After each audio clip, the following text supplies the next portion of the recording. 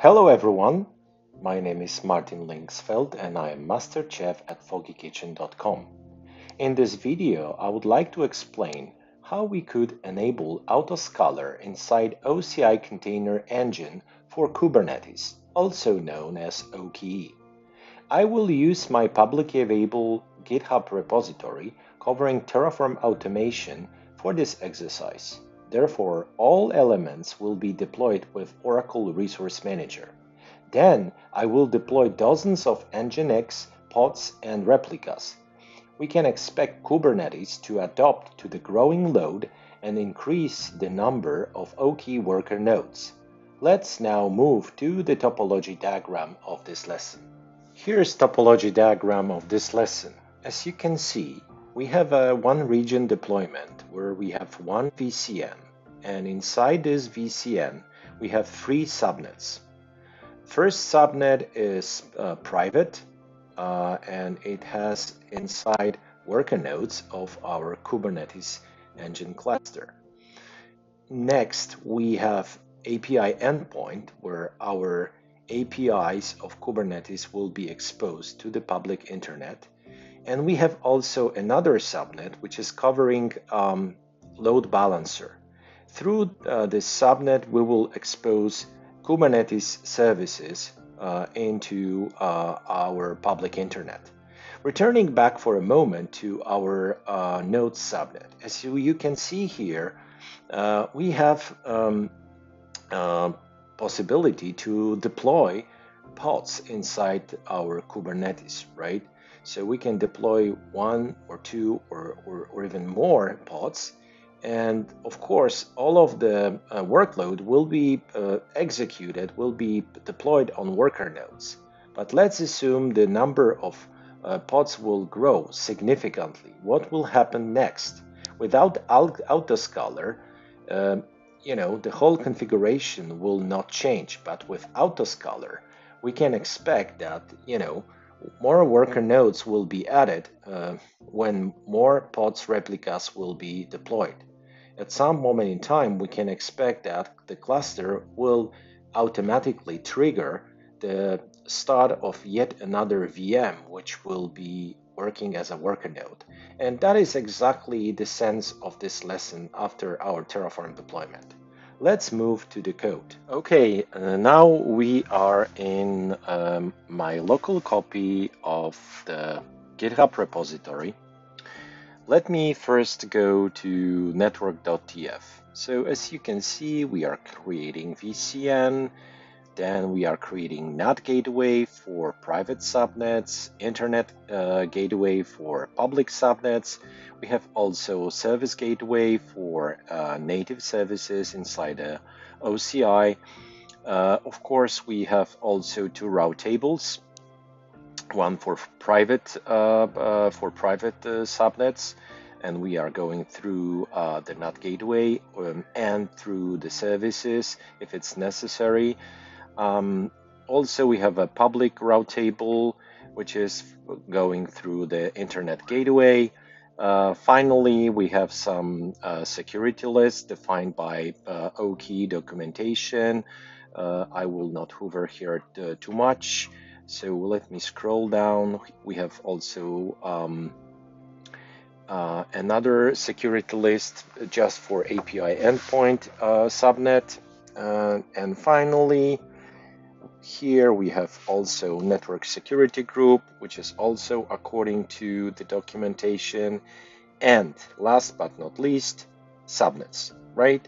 API uh, subnet, um, API endpoint subnet, OKE node subnet, which is uh, mm, private, uh, and uh, finally LB subnet as well. And that is network.tf. Now let's move to okey.tf file. In this file, we will create uh, two resources. One resource will be for OKE cluster, and uh, according to documentation, we will nest that cluster in a VCN. We will associate endpoint config with our API endpoint subnet and network security group uh, for load balancer, we'll we will also associate the proper subnet. And then we have another resource just uh, for a pool of node, right? So here we are uh, associating uh, this node pool with the cluster which was created before. And what is important, we are defining here uh, node config details, which means it will associate uh, each and every node of Kubernetes uh, worker nodes with OKE nodes subnet, right? And that is all, but I would like to highlight something very important. Uh, probably you have noticed that I have this define tag section here and here and here. And what is the purpose of this tagging? Because it looks a little bit cryptic. We are using tag namespace and uh, cluster tag set to true. And what is the purpose of that? Here we need to jump into OKE uh, autoscaler.tf file, which is here. So let's analyze first 21 uh, lines of our OKE autoscaler.tf file. As you can see here, we are creating first tag namespace, which is essentially sort of a grouping mechanism umbrella for tagging. Uh, so then we can create a tag, right? And this tag is defined by this description, right? Tag to identify worker nodes in the OKE cluster. So each and every node in this cluster will be identified, could be identified by this tagging. Okay, but can you can ask questions. What is the purpose of this? How it is so cryptic? What how we will do that? So the answer is simple. Let's go directly to okeypolicy.tf. Uh, In this particular place, we will create a few elements. First of all, we will create dynamic group. And this dynamic group uh, has a matching rule uh, which defines the conditions, right? Uh, for uh, you know for elements of OCI, um, you know, uh, services, um, so resources, which will be included in this dynamic group. And what is the matching rule? All resources, which is uh, named, uh, I mean, the resources uh, with the type instance, where a compartment of these resources is our compartment, right? And then this resource has tag, right, called autoscaler set with, with the value set to true, right? So it means essentially each and every worker node of our cluster will be included in dynamic group uh, defined here. Then we have a policy and what this policy defines. First of all, we have two policies. One of the poli first policy will define, uh, you know, uh, the privileges. I am, mm, you know, uh, privileges for uh, autoscaler instances. So what is what is defined here? First of all, our dynamic group, so the members of this dynamic group will be able to manage uh, cluster node pools, in particular compartment. We, uh, this dynamic group will be able to uh, manage instance family, uh, subnet, VNICs um, can be used, and we will be able to inspect compartments. And we have also another policy, yet another policy. And again, the same dynamic group will be able to uh, operate, uh, you know, uh, um, with with subnets, right? I mean, members of of of, this cluster will be able to uh, use subnets, will be able to read virtual network families, use VNICs, and so on and so on. So I'm trying to tell you, this configuration will uh, follow instance principal, uh, uh, you know, approach, and each and every instance in our OKE cluster will have additional privileges necessary for autoscaler. Okay, that is uh, all in, in, case of the OKE policy. So let's return back to Autoscaler and start uh, to analyze further lines, starting with 23. In lines uh, 23 up to 26 of autoscaler.tf file, we have a resource called local file. And it means this local file will be created uh, and the name of the destination file will be called autoscaler.yaml file and uh, we will use template file uh, and some variables will be replaced on the fly. If we want to understand what is this template file, immediately we need to jump into data sources, right? So let's go to data sources.tf file. And at the very end of this file, we'll find the data source uh, template file where we will use template file in our templates here subdirectory autoscaler.template.yaml, right? And we will inject the values of these variables directly into this template. It's a little bit like in Jinja 2 uh, with Python. So uh, what exactly we will inject? Uh, first of all, uh, we will inject the image and we need to make a lookup for our uh, local autoscaler image um, and we will look for a particular version of the Kubernetes. We also need to provide minimum and maximum nodes for autoscaler and we need to also provide OCID of our Kubernetes node pool, right?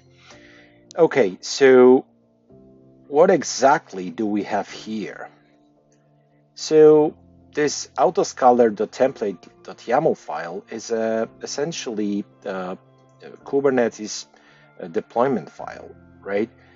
We have a lot of elements here, but if we scroll down to the very end, so for autoscaler, we have a command which should be executed called cluster autoscaler, and we are injecting information about nodes, minimum nodes, maximum nodes, and the pool where all of that should happen. So this file will be immediately deployed by our automation with, you know, those variables changed to proper values.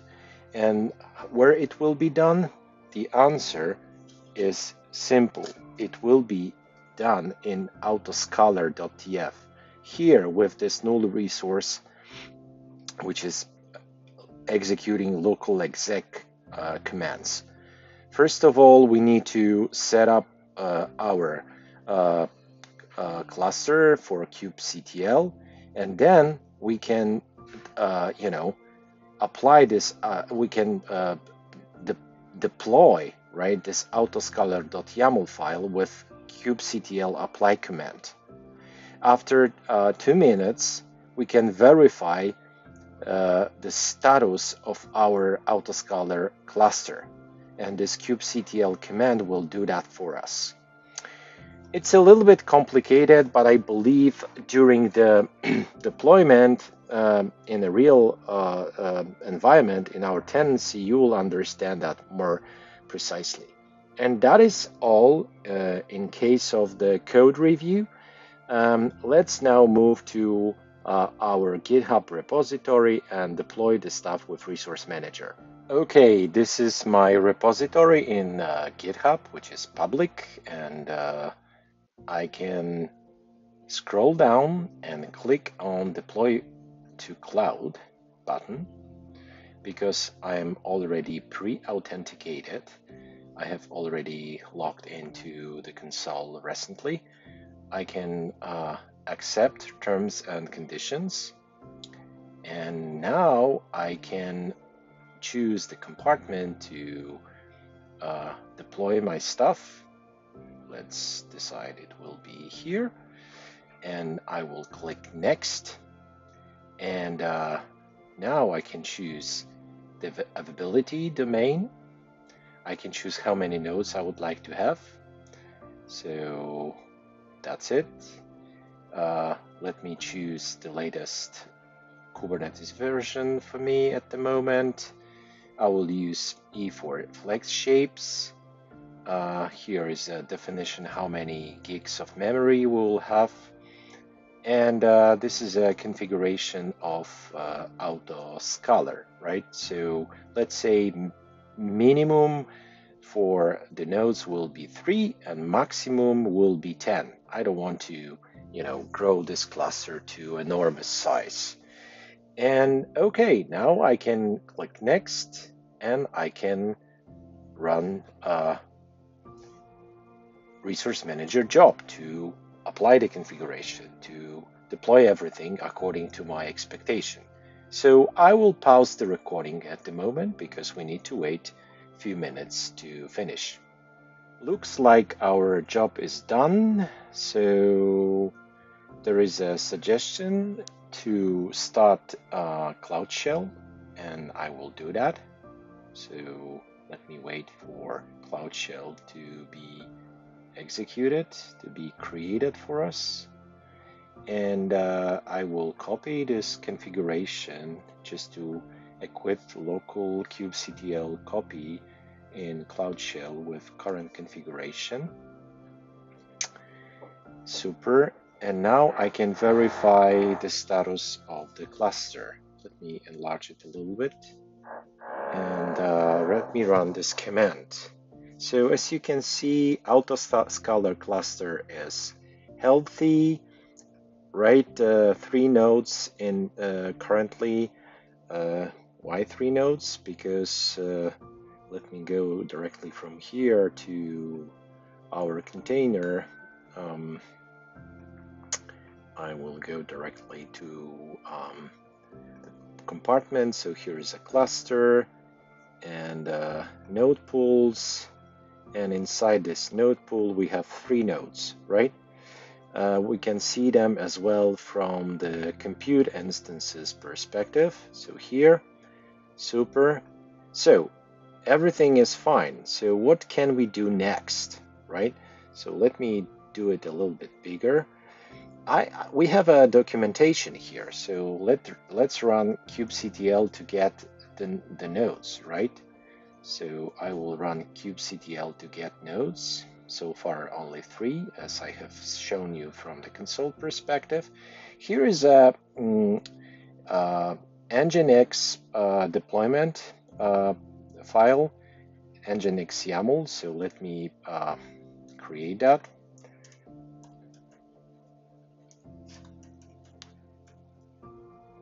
I will copy that here. I will save it. And now I will run, I will deploy sample application, sample Nginx.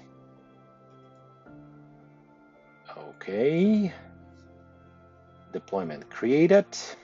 And uh, let me now scale this deployment to 100 replicas. So let's populate worker nodes with the workload. So as you can see, the operation has sca scaled and uh, we can watch the progress by typing this command, right? 20, 37, 40, right? So at some point in time, uh, Autoscaler will discover that the number of replicas is too big to cope with the already existing worker node base. And it will trigger uh, it will trigger the scale out uh, operation, right? So after a few minutes, the you will see increased total number of worker nodes, and we will check it up, uh, you know, with kubectl get nodes command. Also, we will see that from the console perspective. So let me pause for a moment and wait for uh, this operation to happen. Okay, looks like we have 100 replicas. So let me break this and I will run get nodes command. So now we have four nodes instead of three, right? four nodes, perfect. Let's verify that from here. Yeah, four nodes here in instances. And let's go directly to OKE. And uh, inside OKE, in node pools, we should have four nodes, right? And uh, in metrics, as you can see, uh, you know, there is a growing uh, workload and it has triggered, as I have said, the creation of additional worker node in this configuration. I think this concludes our uh, lesson and now I can run uh, I can run Terraform destroy operation. So let me go here and I will run destroy command. And that will be the end of this lesson. Thank you. I hope it was interesting for you and see you soon